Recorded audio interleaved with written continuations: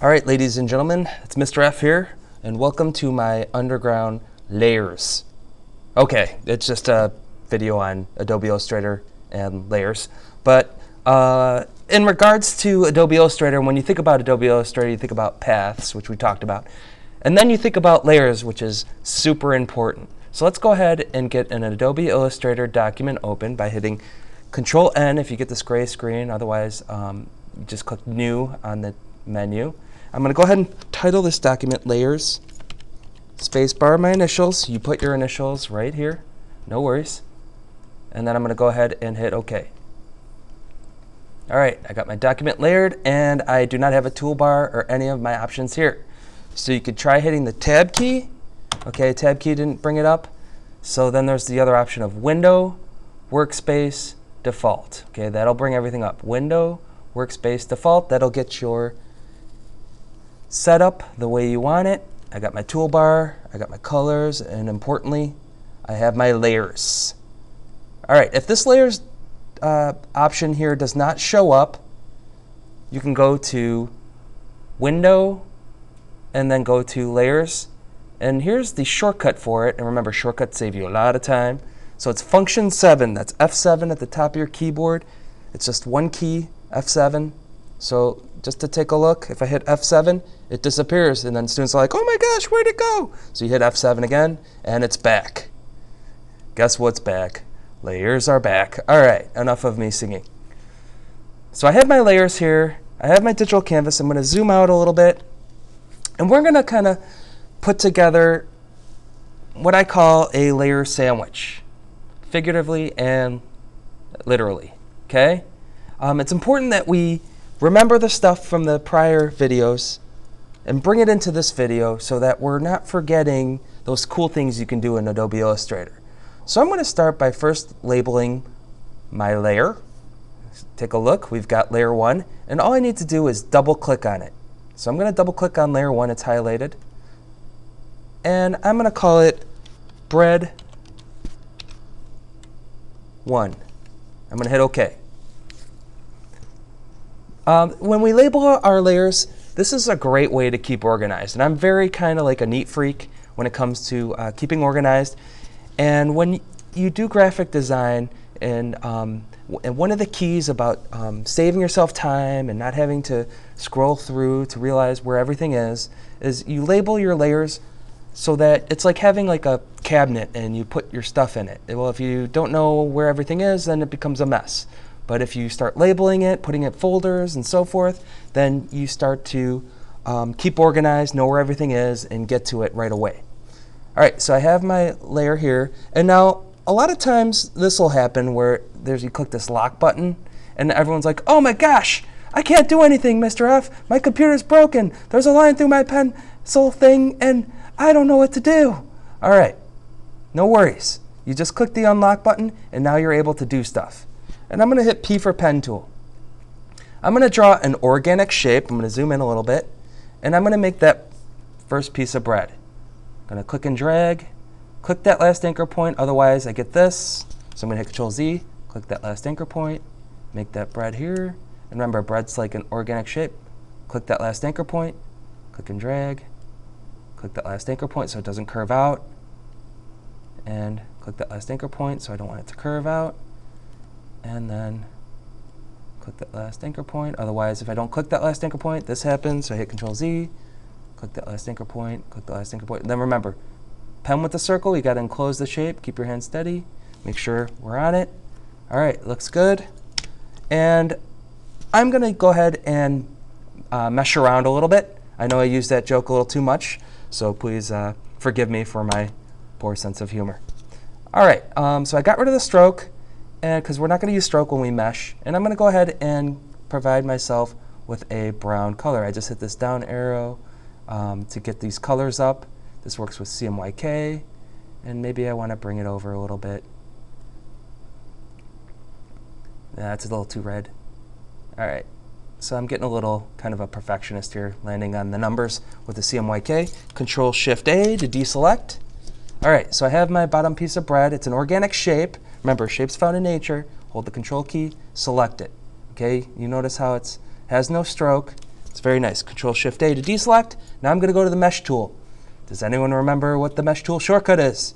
Because we're using shortcuts to help ourselves out. It is U. Good job. You got it right.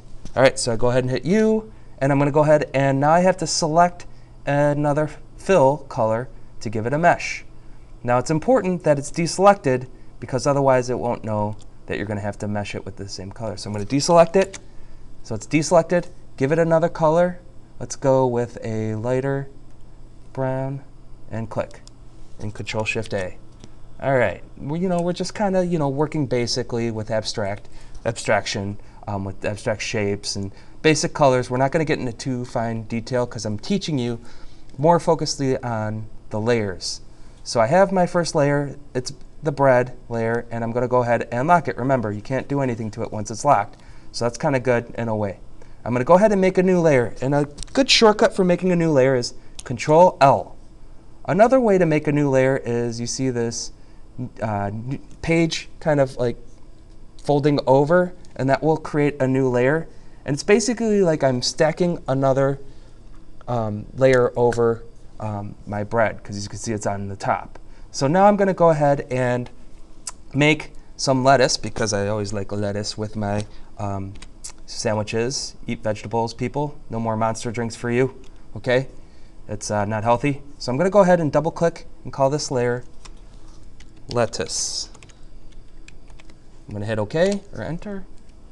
There we go. And now I have my layer. It's above my bread layer. I'm going to make an organic shape. Let's go ahead and now I'm not going to click it because I like these curves that it makes. I'm not going to click that last anchor point. And um, oh, there we go. Pen with a circle. And let's just zoom in to make sure we've connected that organic shape. All right. Let me entertain you, or let us entertain you. Haha, I know. Poor humor. It's early in the morning. I'm making this. Enjoy. All right, so I have my lettuce, and uh, maybe I could give it another mesh tool because uh, we're working with the mesh tool. Hit U, got my mesh tool. It's deselected, that's good. Let's go with a lighter green. All right, Control Shift A. So I'm got the mesh. I'm gonna lock this layer so we can't mess around with it. That way it's permanently there for now and we can move it around later. I'm going to hit Control L for a new layer, or remember you can hit that button. And I'm just going to double click this and call this a tomato. Some people say tomato, I say tomato. All right, there we go. And I'm going to go ahead and use my shape tool. Remember, I'm going to zoom out a little bit, tear it up with the shape tool cookie cutters. Now I'm going to make a perfect circle just because um, I can and I want to make sure that you're using all your shapes. I have organic shapes. Now I'm going to go ahead and make a geometric shape for my tomato. I'm going to give it a color, like an orange color, uh, maybe a little bit darker on that. And remember, you can hit this color by hitting the down arrow, and you have a bunch of swatches to choose from, but I like to make my own colors. And then if you want to do it right from the middle, you can hold the Shift key and the Alt key. Shift key, remember, makes it perfectly straight the Alt key makes it from the middle. Okay, so if I release the Alt key, it's, um, if I release the Alt key, it's not in the middle. So I, when I dragged it out, like this conversation we're having, um, it goes from the middle. Okay, so that's the Alt key. If I hold the Shift key, that makes it perfectly straight. If I hit the bottom button on the pen, or the space bar, that allows me to move it around. Okay, I'm having a ball, or a tomato, with my sandwich. Okay, Control Shift A. Now it's a great thing to uh, that I have my other layers locked because watch happen what happens if I don't lock my other layers. I'm working with the tomato and then all of a sudden, oh gosh, my lettuce got in the way. No! Ah, man, I'm really not cutting cutting it. Oh, speaking of that, I probably should make the cheese after this. Um, cutting the cheese. All right, bad joke. Um, it's always worse when I have to explain things, uh, the jokes and stuff. All right, so we want to make sure that um, these things are locked down so we're not moving them around when we're working with the other layers. So now I could just work with the tomato. I can't mess around with the other layers. It's really kind of a nice thing. Um, also, I'm going to make um, another geometric shape. Let's go ahead and go to the polygon tool. I'm going to hit the down arrow to give myself a triangle. Um, you can hold the shift key if you wanted to. And I'm going to make it a lighter um, version of red. So more of a tint. We're going to go, ooh, that's too orange. So let's go with a lighter. Let's move this to like 90. And I'm just going to type in 90 here. So, oops, accidentally typed in a punctuation mark, and that's what happens. All right, and I'm noticing that I have a lighter tint of red, and I want to drag this out, this anchor point out, and I don't want to mess around with these other anchor points. So, because if we go to the selection tool, we can drag it out that way, but I just want to drag this anchor point out just to show you how it's done. So I'm going to go to the direct selection tool. The shortcut is A, good. You're looking at the parentheses. I like what you're doing there. So I'm going to hit A, and I'm just going to go ahead and you see that little box that turns kind of um, white and the white fill there? That lets me know that I have the anchor point. And now look, I'm only selecting this anchor point. So that's a direct selection tool. And I'm just going to drag it up. And then I could just um, highlight or drag this area around this one. And you see how that deselects? That's another way to select the anchor point. And I'm just going to do the same thing there. And then I have my tomato. And then if I want to rotate it, I go to an invisible corner and I just drag it. See, I, am just clicking and dragging. But you got to make sure those two arrows come up in the invisible corner in order to drag it. That's to rotate. Okay? So I'm going to shrink it down, hold the shift key, drag that little corner box, shrink it down a little bit. I know there's a lot going on here. There will be plenty of other tutorials for me to tell you on how to do things. Okay? So I have my um, triangle. You can make another triangle if you want. And I'm going to go ahead and drag this out. And then I could go ahead and A for the direct selection tool. And whoops, I missed the anchor point, so I'm going to go ahead and deselect it. And I'm just going to drag it around the anchor point there and drag that out. Bring this one in and then drag out a little corner there. And then there we go. So I have another one. And I'm going to shrink it down, hold the shift key so it's proportional. We want to keep the same proportions. We don't want to distort it, right? So hold the shift key down and then I'm going to rotate it. Whoops, I grabbed the wrong part. Make sure you get the corners so I can rotate. You say rotato, I say rotato. You say tomato, I say tomato. All right, and then I'm going to go ahead and here's a really cool thing to know in Adobe Illustrator. It's called uh, it's a duplicate shortcut, and I'm going to teach you this because um, I'm cool like that. All right, so I want to duplicate this one and drag it over. So I'm going to go ahead and select and drag it. I'm going to hold the Alt key, and you notice how the cursor now has two little cursors. One's fill, one's uh, transparent. When I hold the Alt, drag it and hold the Alt key in the selection tool, it's telling me that it's duplicating. Okay. Now if I hold the Shift key, it's going to do it really nice. So hold the Shift key, right? And it's kind of like right next to it. But make sure you, you uh, don't put mayonnaise on it because it's not good for you. So hold the shift key and uh, hold the mayonnaise. All right, um, so I'm dragging this out and I held the alt key and shift key. So let's try that again. Drag it out, hold the shift and alt key. Okay, release the pen and then the shift and alt key last because we want to release our shortcuts last. And then I'm going to hit O. Oh, man, that's right. I got to reflect. That's a good way to remember. When you're like, oh, that's okay. You know, I remember telling a student once, I was like, oh, it's so close. You're so close. It's the reflection tool. Oh, it's, oh, yeah, you're right on the money. And then I like made her cry and I was really sad. So I was like, oh, no, no, the shortcut's oh, oh. That's why I was just making, you know, kind of like trying to give you the, the answer. All right, so um, we have O for the shortcut, and it's for the reflection tool. And you can see this little um, targeting area. That's where I'm going to reflect around. So I hold the Shift key and I, I'm in the reflection tool and I'm dragging it out and then I reflect it. Very nice. So I'm going to go ahead and reflect this one here by dragging it up, hold the Alt key and then the Shift key, and then I'm going to go ahead and release the um, pen and then the Shift and Alt key. And then the next I'm going to hit O for the reflection tool. Oh, that's right! Oh!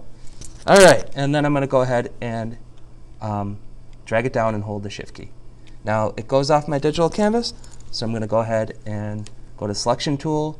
You can go to selection tool by remember holding the control key. I know there's a lot of shortcuts here to remember. If you remember two or three, you know, for this tutorial, that's awesome, okay?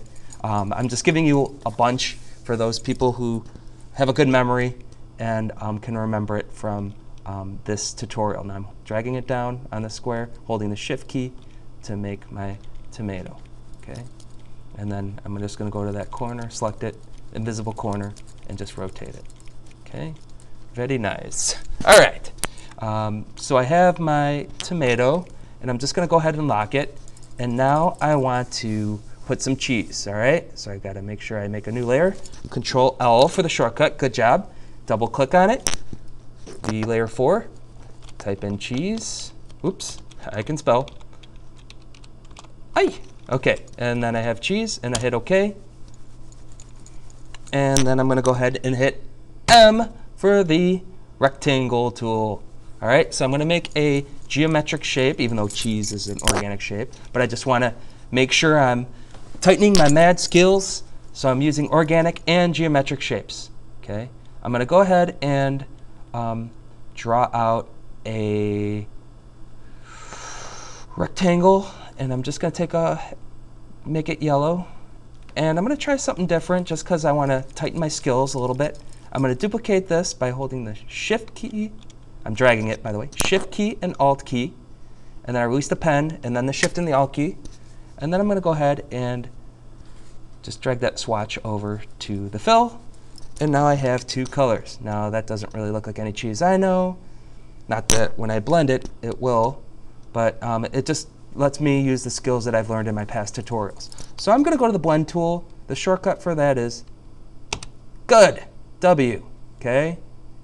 Let's just bring the cursor over and watch for the shortcut, W. And I'm just going to click on the yellow and then click on the orange, and it's a nice little blend. Okay, that's my cheese. I know it really doesn't look like any cheese you know, but some of that processed stuff, it's, it's starting to look like this. So um, yeah, I'm kind of scared. All right, um, so we have some cheese, we have some tomato lettuce. We're gonna need to get to the um, meat of this tutorial. Oh yeah, speaking of that, I'm gonna put some meat in here. And I'm just gonna go ahead and draw it an organic shape. Make sure that we um, just have fill, no stroke. And I'm just gonna make some turkey because I like turkey. And when you're doing this tutorial, you know, you can make sandwiches. I had some students make um, uh, like cheeseburger. Some people like uh, hot uh, hot dogs. They made a hot dog. Um, they made um, they made a pizza. But the thing is, is um, you just have to make sure it's an aerial shot from like up above, and you're looking down and stacking it on. Okay, so um, if you do a side view, it's really not going to work out that well because you don't layer it on top. And that doesn't that kind of defeats the purpose of this this video. So make sure it's an aerial view. Um, just a heads up on that. Um, if you're making a pizza or you're making a cupcake someone was making or uh, they're making a, a hamburger um, or like me a sandwich. All right, so I have my next um, organic shape. Remember I enclosed it with a pen with a circle if you can recall.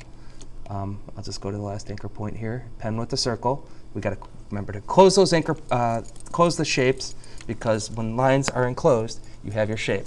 So I'm going to go ahead and double click on this layer and I'm going to call it turkey because I love turkey sandwiches. All right, and I'm going to use a little bit of uh, gradient because I can. And I'm also, you know, mastering my skills. So I'm going back to remembering how to go to the gradient. And my gradient tool is G, good. And we're going to go ahead and select a gradient from over, okay, my gradients are not here. So what do you do? Good question. I'm going to go to my window. I'm going to go to gradient. It's Control F9, just for those of you who love shortcuts. Control F9. Um, and then I'm going to click gradient. There we go. I have my gradients. And I can see that it's a pretty uh, unusual color. So I'm going to go ahead and go with a little turkey color here. Let's just take this swatch and drag it to the white. Okay, and I'm going to go ahead and make it a little bit, alter the color a little bit. And then I'm going to go ahead and let's go um, and drag this swatch to the dark. We're working with value now. We're adding some depth kind of, but that's okay. It's just because I'm retaining those skills, those mad skills that I know. All right, and I have a little bit of a gradient. Okay, it looks a little oven roasted. That's fine, just the way I like it. And I'm just gonna go ahead and lock that layer. Now you can go ahead and make a new layer and I'm just gonna add some uh, mustard. Uh, and I'm going to hit OK.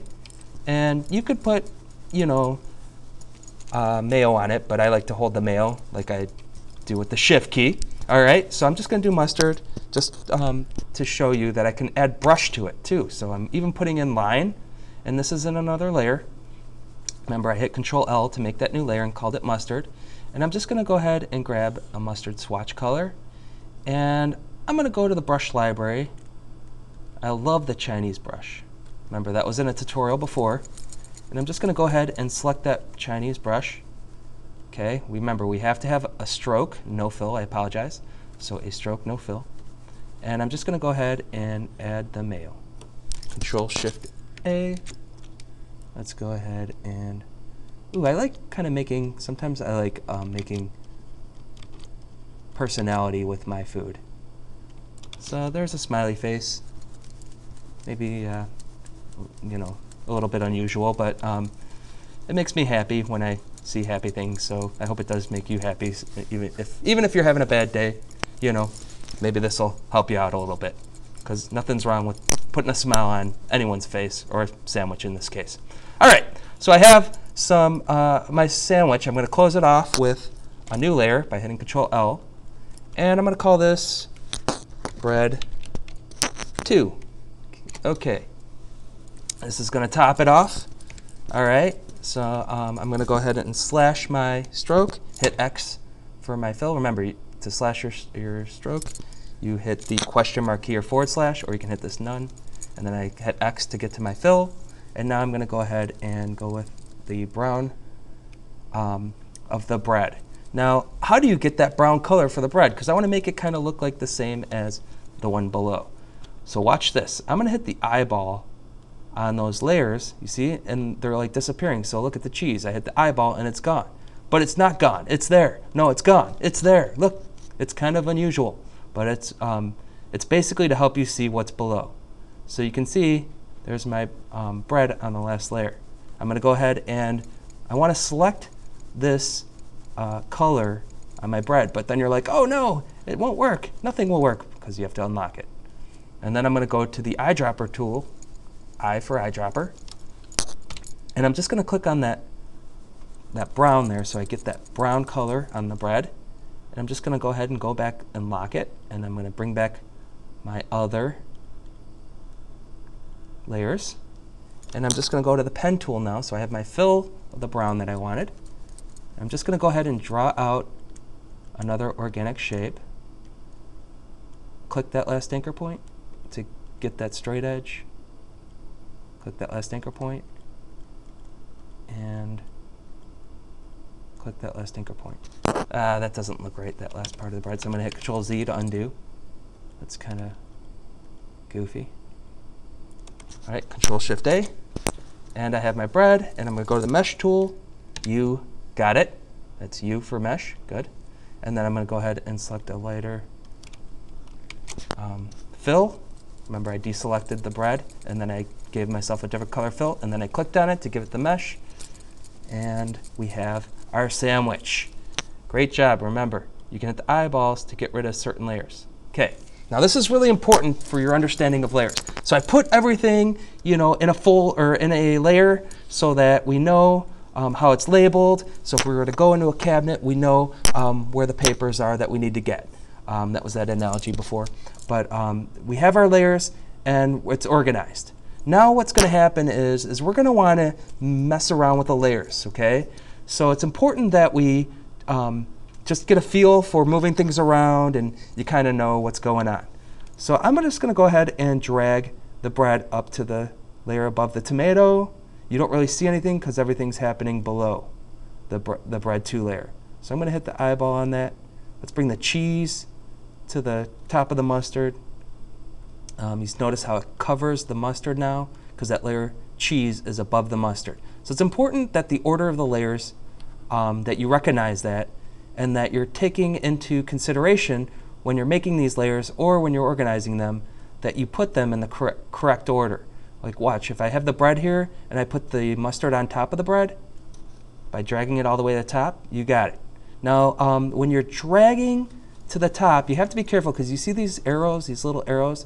You have to make sure that those arrows appear. Otherwise, if you just like, oh yeah, I'm throwing it into this lock layer, it doesn't really do it. See, it goes back to normal. So make sure when you're dragging up and you're bringing it above, you know, let's say above the mustard layer, you get this little tiny arrow in the corner there, and you see, bam, the turkey's on top, okay? Um, if you want to drag things below, you go to the mustard, you make sure that you have the arrows. Um, and if you don't have the arrows, watch what happens. I'm going to bring the lettuce, there's no arrows, and bam, the lettuce stays there. Okay, so make sure you, when you bring the lettuce down, you get the little arrows, and you see those double arrows? That'll let me know that I'm able to drop it in.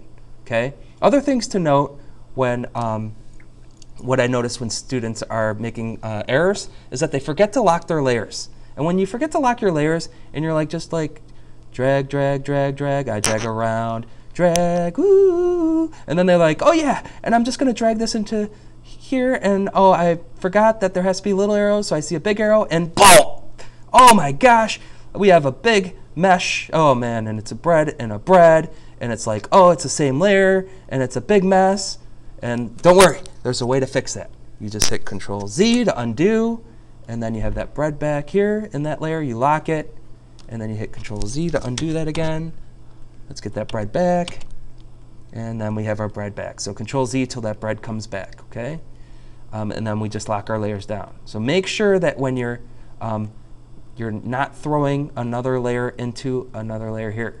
Okay, otherwise you're going to be combining your layers and you're going to your papers are going to become a mess and your cheese is going to have lettuce on it and you're going to be like it's a cheese lettuce and you're like whoa what happened? I, I, I want to move things around and then they become a problem. So if you want remember to get out of that you hit control Z control Z control Z control Z till that lettuce goes back and then the lettuce goes back there and then we have the mustard on that layer and the bread here and the cheese on the other layer. So it's all good, and we've got it going on. All right.